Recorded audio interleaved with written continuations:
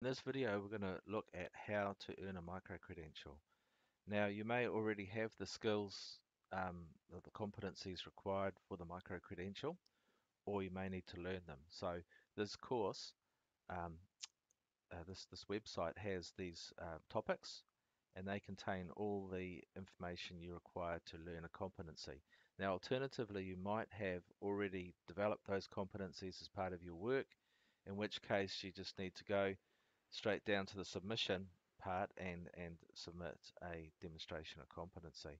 So what we're going to do in this video is we're going to talk about how do you earn that micro-credential and all the information you need for that is sitting in the submission thing down the bottom here. Uh, so we're looking at the uh, road pavement micro-credential. So we click on this and you'll notice that there's three documents here. The first one is the submission specification.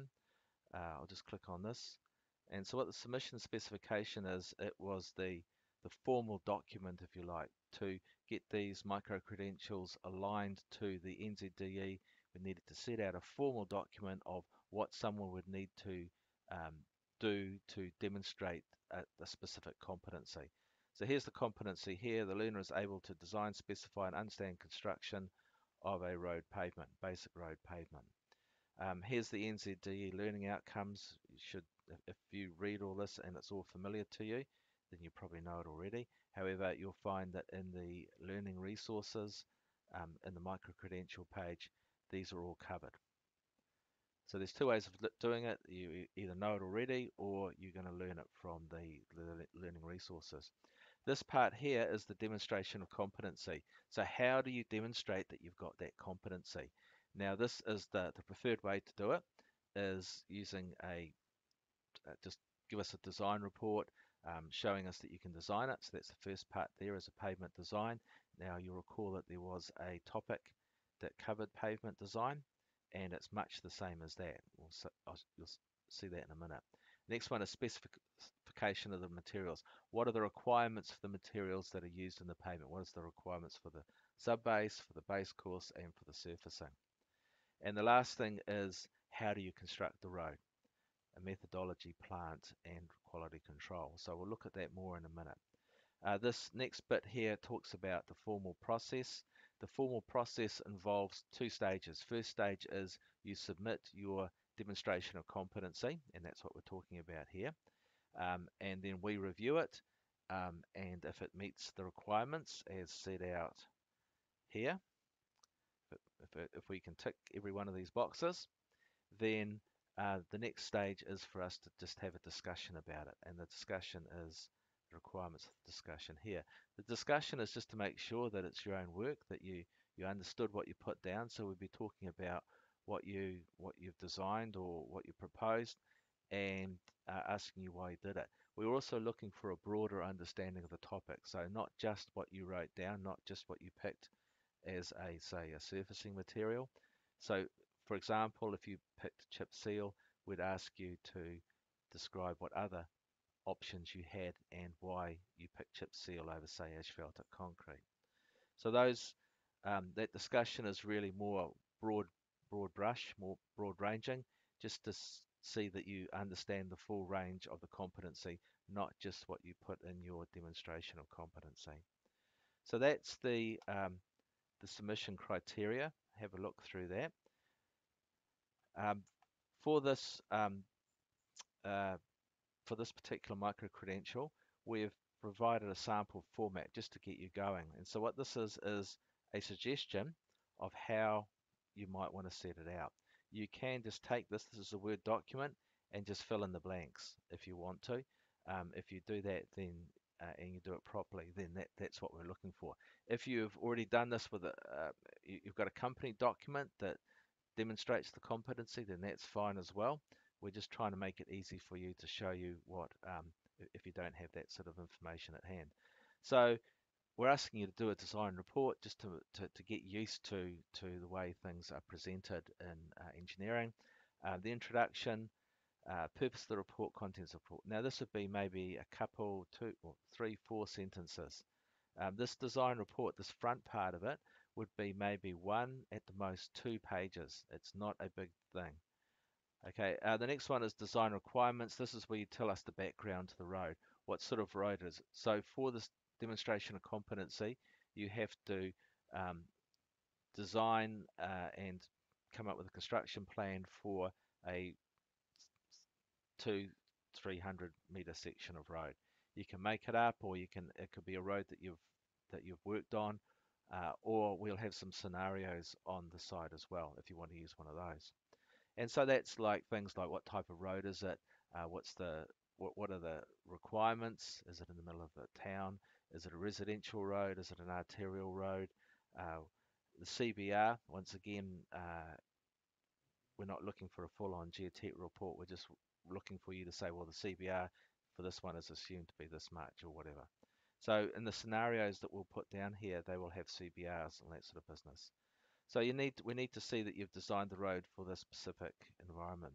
Next one is the pavement design, and really this is just section here where you're referring to um, designs, uh, calculations, and drawings and specifications that will be in the appendices. So appendices are bits you put after the report that contain the detailed information. The report's there for someone just to get a quick view of the whole thing, whereas the appendices provide the technical detail that the engineers need to know.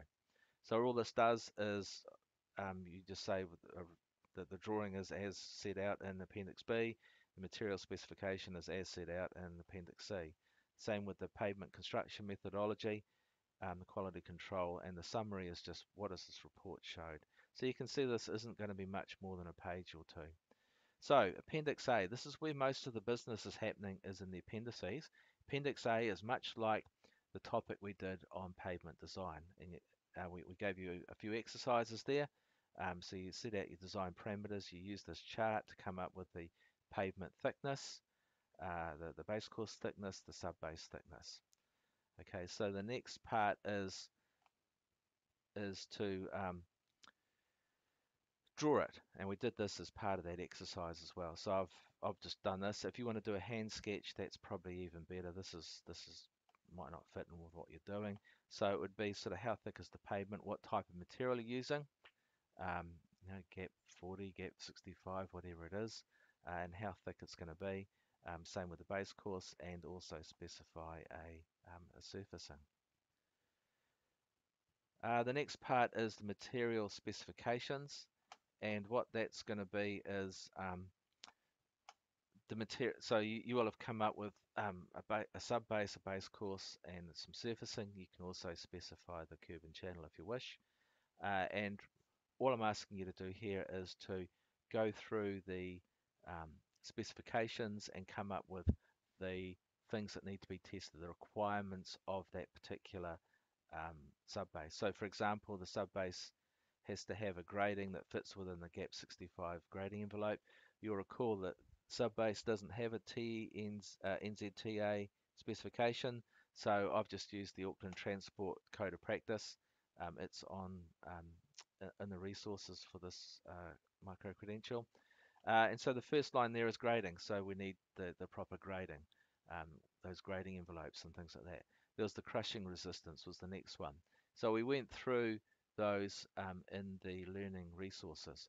And then you do much the same for the base course and you recall that the requirements for the base course and for the sub-base are much the same, although the base course has more rigorous ones. So for the base course, you can go through TNZ M4. Once again, the first one there would be grading, um, grading test, and TNZ M4, what there's a clause in there that describes the grading envelope. So you'd sort of refer to that. The next bit is the construction methodology. And once again, it's um, the steps required to carry out the construction. So the first one is lay the sub base, and then we're looking for the activities that are carried out to do that, and the uh, the plant that's used for it. And then you step your way through um, all the stages right up to the sealing. Oh, by the way, for this, it's sub base course, but there'll also be um, a surfacing as well. So you'll need to go through the surfacing uh, specifications as well to to fill in that. This table will probably take you maybe one or two pages. Uh, and then there's a construction quality plan. So while you are doing each of these activities, while you're laying the sub base, there will be tests that you'll be undertaking. So you'll be measuring the layer thickness, you'll be checking for segregation. And once again, that involves you going through TNZ B2 and filling in the gaps. You're going to find that the um, when you come down to the lay base course, it's going to be almost exactly the same. So once again, the construction quality plan, and that's all we require for you to do for that particular thing.